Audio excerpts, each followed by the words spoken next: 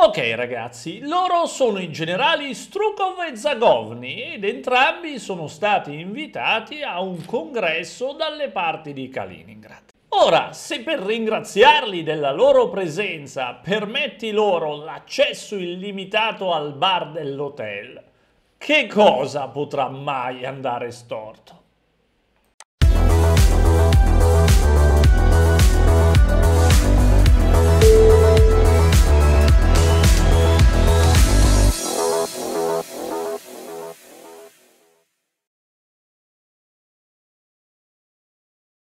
Ce lo spiega il generale Zagovni.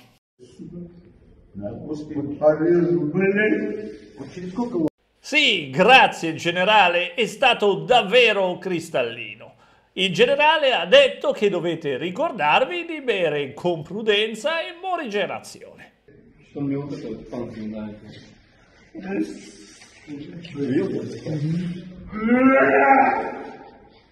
E naturalmente nel caso in cui alziate troppo il gomito ci penseranno dei volenterosi militari russi a farvelo abbassare. Eh, si vede che è proprio adorato dai suoi ragazzi. Sventuratamente però non tutti i comandanti hanno la fortuna di essere così apprezzati dai sottoposti, dalla popolazione locale e forse anche dai nemici. Quest'uomo, per esempio, è il maggiore Oleg Stegachev.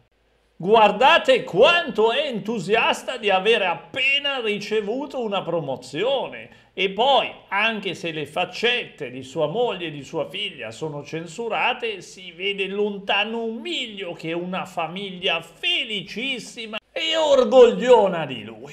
D'altronde il comando di un Tu-95 non è mica per tutti.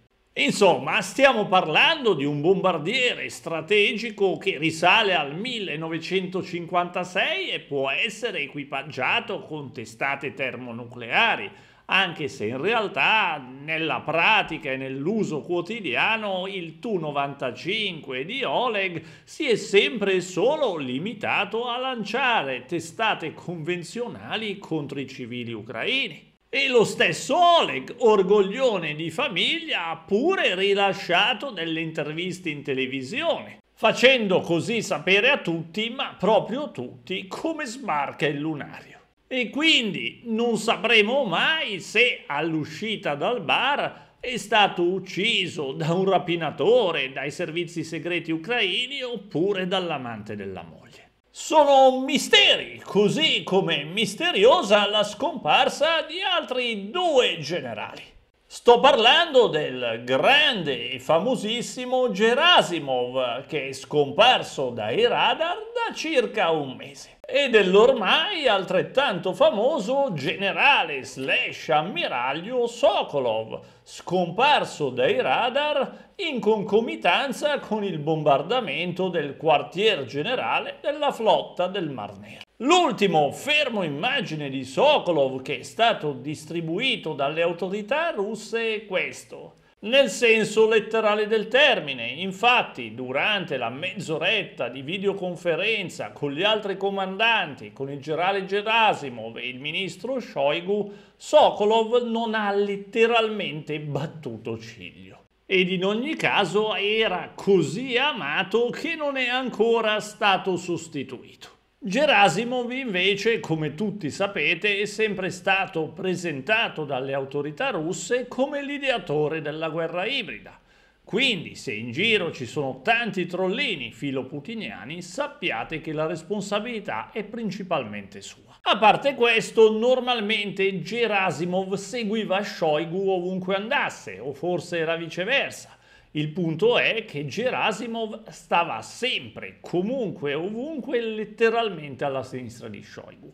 Adesso è da oltre un mese che alla sinistra di Shoigu c'è qualcun altro. Ora, vi prego, nel caso in cui lo avvistiate, prendete immediatamente contatto con Shoigu perché è fondamentale che Gerasimov venga ritrovato prima che zio Vlad si accorga della sua assenza. Perché, come potete facilmente immaginare, se zio Vlad scopre che Jerry è scappato o è sparito o peggio ancora è finito sottoterra, potrebbe fare una scenata mica male. e alla sua età è meglio evitarli certi stress. Quindi, ripeto, se avvistate Gerasimov negli Stati Uniti, eh, in qualche ospedale russo in zona ucraina o che so io, l'avete trovato al bordo di una strada esangue, comunicatelo a Shoigu.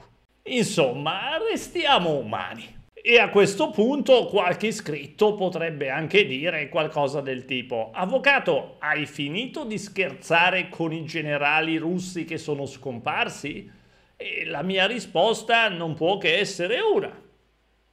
No, c'è infatti un altro ingresso in questa macabra top 20. E no, non sto parlando neanche del comandante dell'Ivanovet, il quale a quanto ci risulta ha condiviso il destino del resto dell'equipaggio e della nave. Infatti, benché la nave si trovasse relativamente vicino alla costa e non fosse lontanissima dal porto, i russi non hanno organizzato alcuna tempestiva operazione di salvataggio.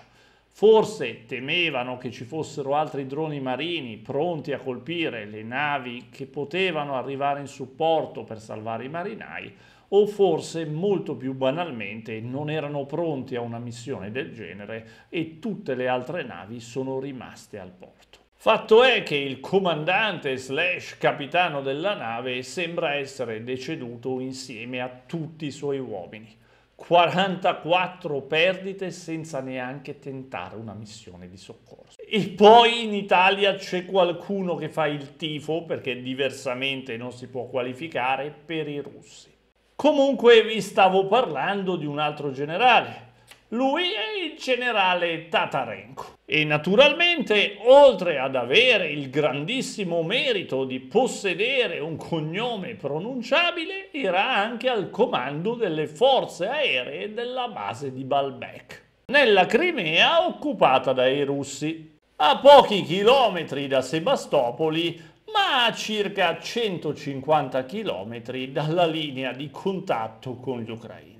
Ebbene, non solo gli ucraini sono riusciti a colpire l'aeroporto neutralizzando qualche aereo e radar, ma hanno anche obliterato il centro di comando dove si trovava il generale. Il tutto ad almeno 150 km di distanza rispetto al fronte. Ora non ho avuto tempo e modo di raccogliere altre immagini, ma è un dato di fatto che gli ucraini in questo periodo si stanno concentrando sul neutralizzare i radar e le forze aeree nemiche di stanza in Crimea. Ora, naturalmente è sempre una buona, ottima regola quella di neutralizzare tutte le forze aeree nemiche, ma in questo caso specifico questa operazione è stata concepita in questo modo anche perché si sta avvicinando l'ora X, l'ora della consegna degli ormai mitici e certamente mitizzati F-16. Di conseguenza, se gli ucraini da una parte riusciranno a gestirli in modo adeguato e dall'altra i russi continueranno a gestire in modo completamente inadeguato la propria aviazione, forse gli ucraini potrebbero anche riuscire a recuperare del territorio occupato senza troppi sforzi e a cancellare il ricordo di una controffensiva che ha dato buoni risultati sul campo ma non ha portato ad alcun sostanziale avanzamento territoriale. Il problema principale per gli ucraini consiste nel fatto che i loro nemici più pericolosi non si trovano in Russia o nei territori occupati, ma bensì in Occidente e più precisamente dalle parti della Casa Bianca. Infatti i repubblicani, ma principalmente il repubblicano Johnson, che è anche lo speaker, cioè colui che calendarizza gli ordini del giorno al congresso, continua a far rinviare le votazioni sui finanziamenti e sugli aiuti militari all'Ucraina. In questo modo gli Stati Uniti ormai non stanno passando praticamente più nulla agli ucraini chiunque abbia votato repubblicano di fatto ha votato per lo sterminio degli ucraini. Oltretutto, sempre in area repubblicana stanno cercando di far passare delle leggi che oltre a essere palesemente incostituzionali sono tremendamente populiste.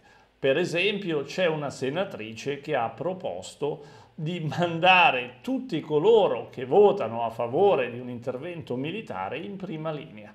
Cioè questa senatrice vorrebbe che i politici americani, quali avranno un'età media di 80-100 anni, guardando Trump e Biden, dovrebbero mollare tutto e andare in prima linea con i soldati di 20-25. In ogni caso, comunque, la Casa Bianca sta cercando qualche soluzione per far arrivare qualcosa.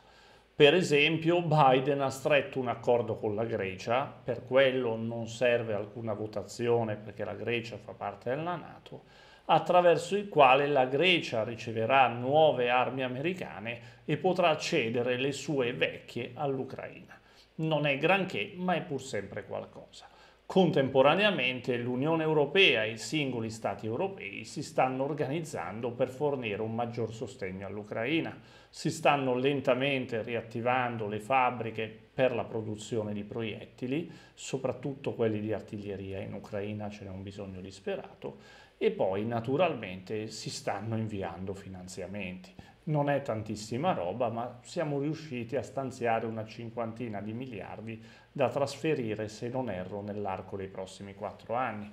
Quindi 10 miliardi all'anno come Unione Europea e sempre meglio di noi. Infine, gli ucraini cercano di indebolire ulteriormente il potere economico della Russia, distruggendo i terminal petroliferi per impedire per l'appunto a zio Vlad di vendere il suo petrolio e recuperare qualche centesimo da buttare via in spese militari. Al momento attuale gli ucraini sono infatti riusciti a distruggere quantomeno parzialmente gli impianti della raffineria della Lukoil e hanno altresì sviluppato un congruo numero di droni che possono colpire i russi a lungo raggio. Ma di questo magari parliamo nel video di domani. Come sempre, grazie di tutto per tutto e a presto.